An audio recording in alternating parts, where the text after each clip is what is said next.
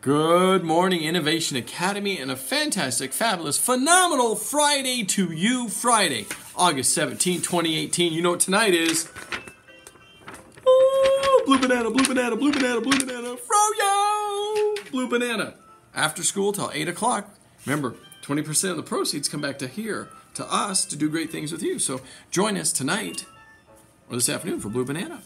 Um, student council. If you are fourth or fifth grade interested in running for student council, today's the day. At lunch, you meet with Miss Talicki um, and pick up your applications, learn a little bit about what it's going to take for you to run for office for student council here at Innovation Academy.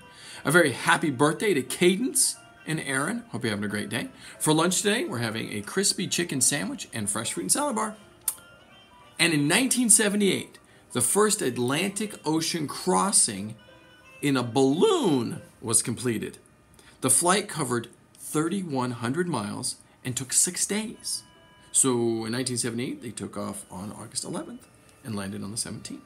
That's really cool. All right. Um, and oh, joke of the day, joke of the day. What is brown, hairy, and wears sunglasses? A coconut on vacation. All right, have a great day. Make your choices. What would a kind kid do? They're respectful, they're responsible, and they're kind. And if you're ever stuck, you're not sure what to do, think, what would a kind kid do? Let that guide you. It'll help you make great choices. All right, have a great day. We'll see you around campus.